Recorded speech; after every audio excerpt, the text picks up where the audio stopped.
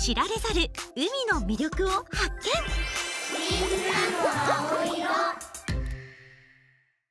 生き物取るぞ。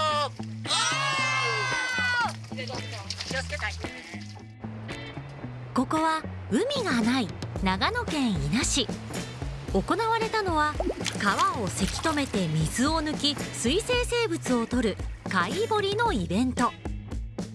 生き物の捕獲だけじゃなくゴミ拾いを通じて川から海へ流れ出る海洋ゴミの問題について考えようと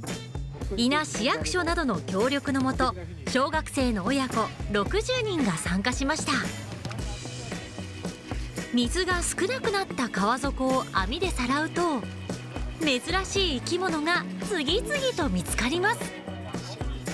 これさあの水の中に住むカメムシの仲間なんだけど水カマキリとかタガメとかこの類よりまですごく数が減ってて川でこんなにねこの仲間が見つかると思ってなかったな。すごいよ。よく見つけたね。やっぱりさすが長野県といいますか、まあ、普段私が活動している東京では見られないようなあの貴重な生き物がいくつも見られてですねとても面白かったなと思います。生き物の捕獲をした後はみんなでゴミ拾い。海がない地域でも海を守ることができるんです。川という道を通っていろんなものが流れていきます。その中の一つのやはりゴミという問題がですね非常に大きくて海のゴミは海から出たものではない山から町から出てきたそういったゴミが、えー、海につながっている海からまた広がっていく、